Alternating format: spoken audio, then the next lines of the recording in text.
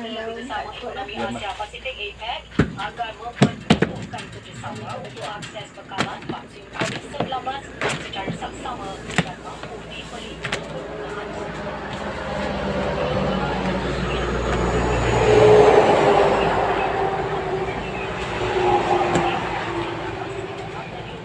Tidak lama lagi, Pegawai Ketingkatan Menteri Kesihatan Datuk Seri Dr. Anwar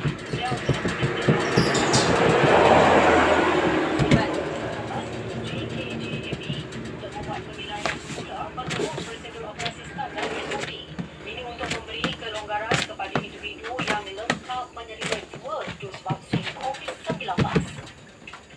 Menteri Penyelaras Program Imunisasi COVID-19 Kebangsaan Khairi Jamaluddin pula memaklumkan operasi lonjakan kapasiti pemberian vaksin akan dilaksanakan ia bagi memastikan penduduk dewasa di Kuala Lumpur dan Selangor menerima serta